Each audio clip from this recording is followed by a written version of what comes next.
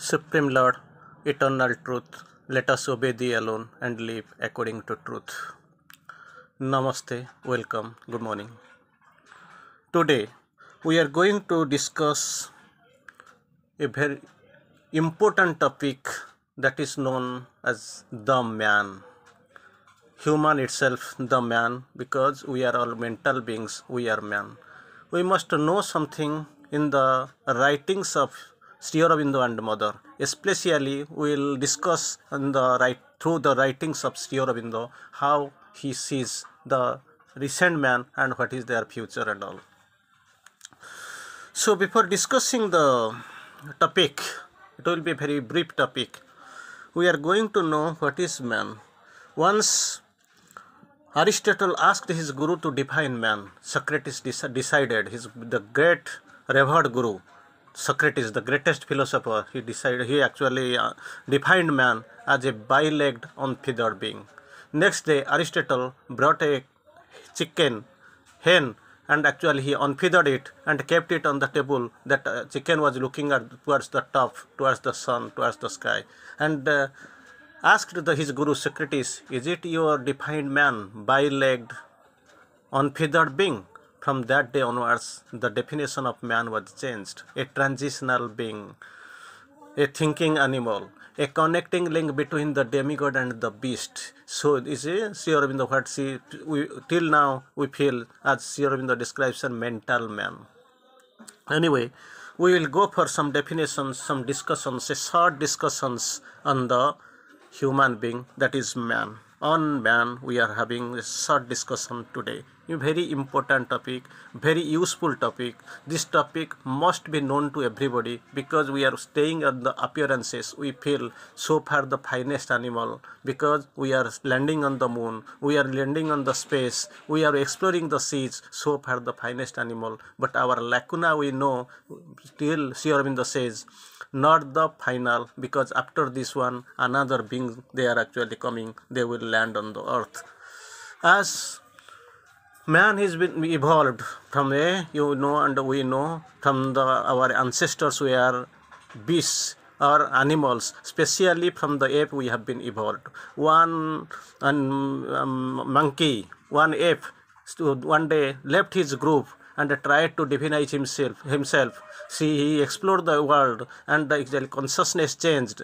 His actually everything his physical structures changed. His tail was shut down. This vestigial organs they actually they fell down. And after that his physical structure his body appearance actually changed front legs he used as um, hands and back legs are actually these were used as legs. On that way his consciousness elevate, got elevated. He was changed into a human being. And this from this big human being we are Mm, day by day in the evolutionary process we are getting elevated. Still then these people are there. Actually these are still unevolved. Still these apes are there. And from these apes we men are actually thinking from thinking to be superman. As man evolved from the ape or beast like this from man superman is, is going to evolve. There is a preparation on the way. Here on the speaks of man is god hiding himself in on from nature. This is not to be underestimated. Man is truly God hiding himself from the nature. Man is hiding himself from nature, but actually he is the, truly the God. Second definition, all things are man, the Purusha. Wherever you see all things are man, comma, it is the Purusha that we know, the Purusha and Prakriti we have seen, that Purusha, all things are man. Each man contains in himself the whole divine personality. Man has forgotten. Man has forgotten why he has come, why he has he has forgotten why he has come and whence.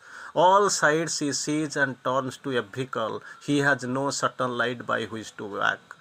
The soul, his mind his the light his soul had brought his mind has lost. Because there are two phenomena come, working. There, there is a guiding light his soul had brought with him when he was he, he got manifested here he took birth.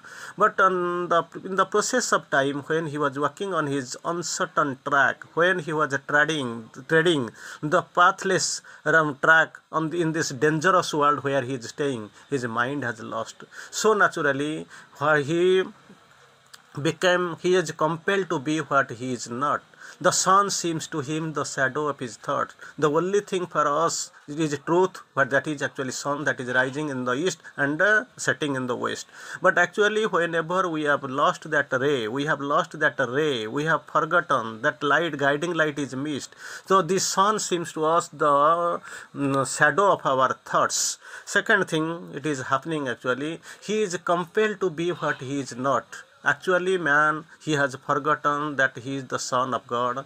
He has to grow into his divinity, to, divine height. He has to gain the divinity. He has to become the God. But actually, he has forgotten. If, however, he will be able to remember, um, remember the thing, actually his greatness, his um, magnanimity, then naturally he will be try. He will try himself, or he will aspire himself to be lifted up to the form from where he had to come.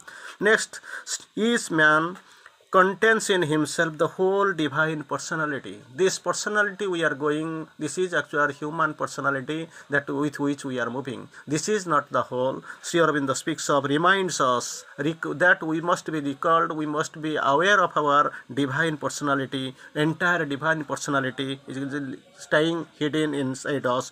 It is concealed. We are not able to discover it. Next, Sri Aurobindo speaks of man is nature's guest term of transition in which she grows conscious of her aim. Nature's great term of transition is man, in which this nature grows conscious of her aim.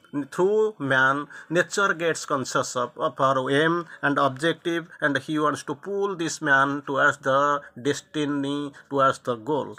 In him, she looks up from the animal with open eyes towards the divine ideal. So far, this man is connecting link between the demigod and the beast. This beasthood, from where he got elevated, he came out, it is laying, staying far back. The divinity towards which he is actually processing, it is actually far, far, far ahead of him. In between, man is trying to mm, run towards to his divinity, but actually this divinity is not seen towards the beasthood. He can never, never return back.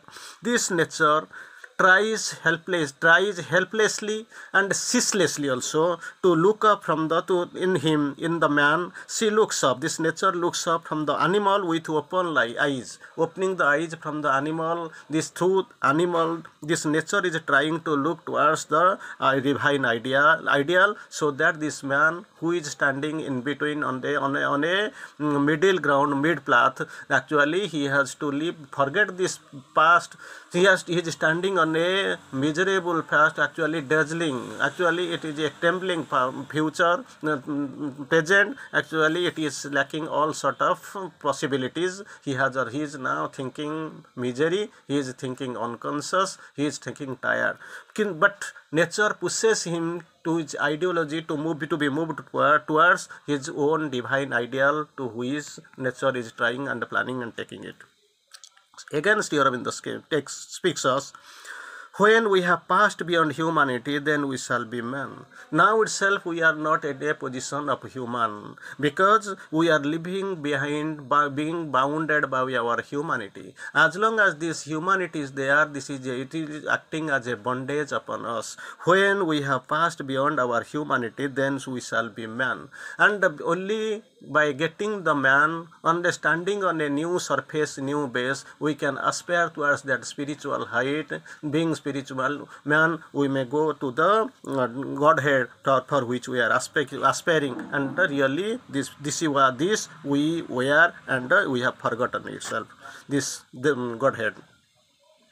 We are God, we have forgotten. So Sri Aurobindo speaks this aim and objective of this integral education is that attainment of God is the sole object of all human effort. In the human effort what we can do the maximum thing we have to think to achieve is to attainment of god. That is the thing. Not to be confined in a narrow egoistic atmosphere that we are all we are such and such we are so far the finest animal we are superior to beasts and all.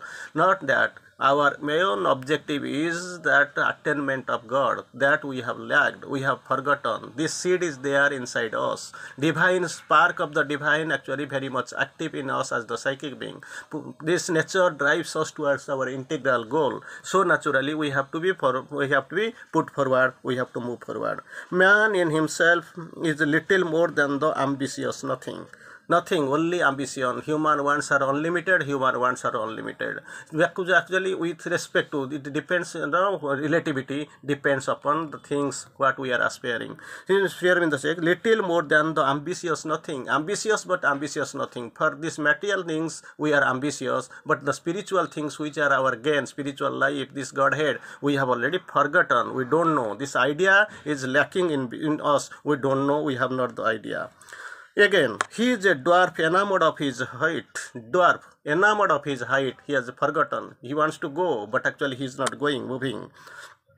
Still then Sri Aurobindo speaks, this imperfection of man is not the last word of nature. Now itself man is imperfect, knows nothing, he is confined, he is bounded. But this imperfection of man is not the last word of nature. But his perfection too is not the last peak of the spirit. He has to go.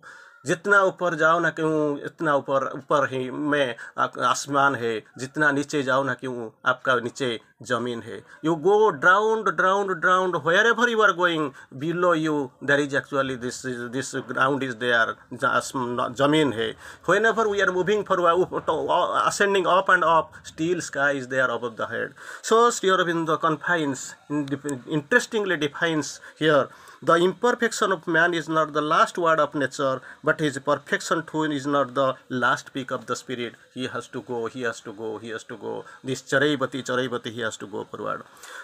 Man is a transitional being, not the final. In between, he is actually staying. He is not the final. He has to come. One new type of being should evolve. That will be known as the Superman. Super Superman. As mind is man, they like this supermind is superman so new type of man superman is coming. It has already been um, their planning is done. They are already they are in the process of manifestation. Man is fortunately inconsistent because this inconsistency is also that is a boon for him because he, there is a possibility he has to rise up. He has to go with the consistency. He has to go to get the momentum and he has to achieve his godhead. He has to reach that height divine peak where actually his destiny waits him man's creative powers can can have repercussions on the supraphysical levels. Then another thing is man is running after the success that material success.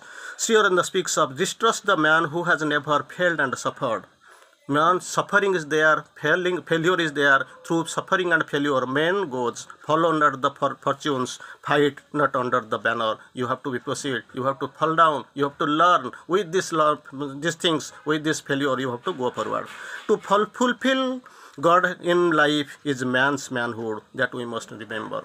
One thing I must see man is not the final animal new animal is going to be manifested. Sri Aurobindo has seen. I have seen the omnipotent flaming pioneers. I saw them cross the twilight of an age. Already they are existing. They have crossed the twilight. After this twilight, this night will come, and after this night, they are they will manifest on the world, and their presence, very presence, will transfigure, transfigure the matter's world. I saw them cross the twilight of an age. They are coming.